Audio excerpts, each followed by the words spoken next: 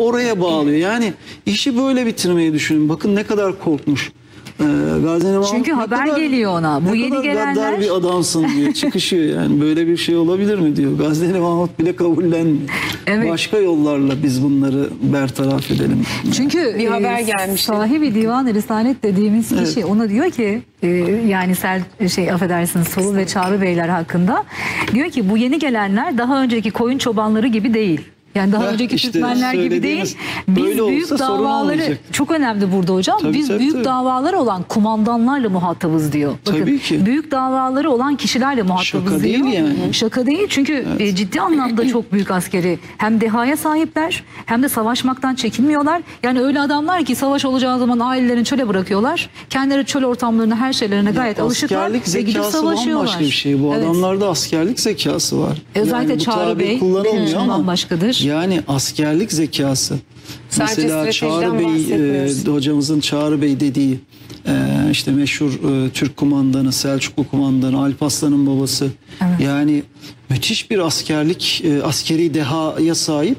E, bu tip e, bu kalibrede adamlardan elbette çekiniyor Gazneliler. Gaznelileri şöyle düşünmemiz lazım. O dönemin süper gücü. Bu tabir de belki yadırganabilir. Ben zamanımız için Bu kullanıyorum. konjonktürde Ama- Amerikanlı Bölge- geldiği için öyle. evet Bölge- olabilir ama böyle bir enfeksiyon olmaması gerekiyor. e, Evet. Britanya veya şey olarak algılanabilir Evet, ABD evet. olarak. Aynen o güçte yani. E, nasıl mücadele edebilir?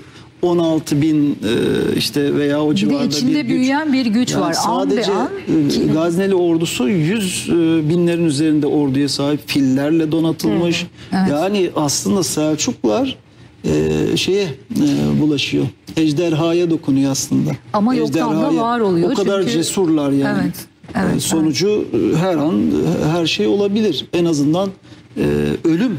Yani ölüm kesin. Yok olma. Yok yani olmak kesin. Var olma mücadelesi veriyorlar hocam. Bu Zaten NASA'da cesaret. böyledir. Dandanakan da bir var olma mücadelesidir Tabii tabii. Ya tabii. ölüm ya kalım ya. Yani e, bizim ya ölüm ya hocalarımız e, Erdoğan Merç hocamız, e, Abdülkerim Özaydın hocamız istiklal mücadelesi diye tanımlamış. E, Üstadımız Turan, Osman Turan. Yani tabii ki bu tabir doğru. Bir devlet kurmaya çalışıyorlar. Bu devleti e, kurmak için mutlaka başka bir egemenliği söndürmen lazım. Yani çünkü müsaade etmezler. Onun gücünü kırmadan, onu yok etmeden, onu pasifize Yani bir etmeden. savaştan, bir mutlaka bir muharebeden final niteliği Evet. taşıyan savaşlar neticesinde gelir bu. Bir savaşla da olmaz. Yani bir önemli savaşla, yani final değeri olan bir savaşla. Aralarında çok mücadeleler yaşanıyor ama Dandanakan e, final niteliği, sonucu tayin eden bir mücadele. Evet. Tarihe yön veren. Şimdi karşılaşma. şuradan devam edelim. Dandanakın'a gelelim müsaade ederseniz. Buyurun, ki. burada Selçuk işte e, biz büyük davaları olan adamlarla birlikte izleyince Gazne Sultanı, Gaz, e, Gazne hükümdarı, Gazneli e, devletinin başında olan e, reddediyor teklifi. Aslında Selçukların da zaten burada teklifi nezaket gereği yapmışlardı. Çünkü amaçları ve hedefleri belliydi. Selçuklu Sultanı 15 bin kişilik bir ordu gönderiyor. Üzerine Nesa civarında bulunan e, olan savaşta Selçuklular 10 bin kişi tahmini olarak söylüyoruz bunu. Kaynaklarda böyle geçiyor çünkü 15 bin kişilik Gazneli ordusunu bertaraf ediyor. Bu sefer tekrar aynı teklifi yapıyor Selçuklular Gazne e, hükümdarına ve bu sefer mecburen teklifi kabul etmek zorunda kalıyor. E, kabul etmek zorunda kaldığından dolayı da Sultan Mesut At, Hılat, eğer takımı ve menşur gibi hakimiyet sembolleri gönderip Nesa Ferave ve e, Dihistan bölgesine kendilerine verdiğini söylüyor. Aslında şimdi burada olay başlıyor zaten. Gittiler, toprak istediler, toprak verilmedi ancak savaştılar.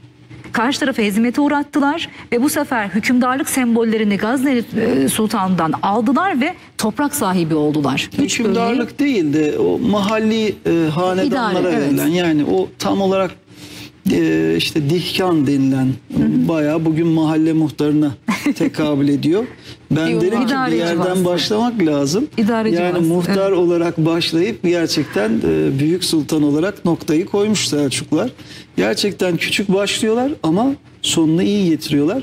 Dihkan e, unvanı şeydir. Mahalli hanedan idarecilerine verilir.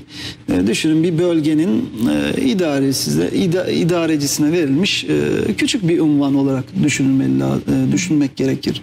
Ama dediğim gibi sonu gelecek bunun devamı O döneme gelecek. bakacak olursak hocam yine mi aynı e, O dönem için budur? e, evet yani büyük bir coğrafyada e, bir kasaba ya da bir iki kasabayı idare ediyorsunuz. O Bir, iki, anlama gelir. üç ilçeyi idare Yani ediyor üç gibi ilçe. bir vasıf var. Yani Evet, o mahalli dediğimiz şey bu. Ama- E, ama bir şehri değil.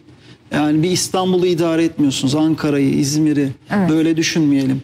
Onun içerisindeki küçük bir birimi idare ediyorsunuz. Ama daha sonra zaten İşte Türkmenlerin akın akın gelmesiyle topraklar aldıkları- yetmiyor ve devam ediyorlar.